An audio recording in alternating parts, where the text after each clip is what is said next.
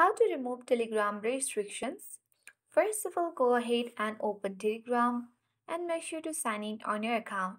Let's tap on three line icon at the top left corner and on this expanded menu bar tap on settings. Once you get access to your settings page, you have to select privacy and security and then you need to search for sensitive content.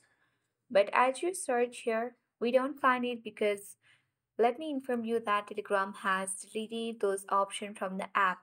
So then the next thing you can do in order to remove Telegram restriction is simply you can open the web version of Telegram where that open any browser of your choice and then you can search on the search bar that web.telegram.org and open the wave version of Telegram. Once it opens, tap on three line icon at the top left corner of the screen and here select settings. Once you get access to the settings page, open privacy and security and here you need to scroll all the way down and you will see the option of sensitive content.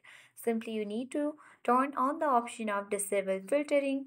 This will display sensitive media in public channels or on all your devices on Telegram. So this is how we remove Telegram restrictions. I hope this video was helpful. If it was, then make sure to hit the like button. If you are new to our channel, then hit the subscribe button. Press the notification bell for more updates on this channel.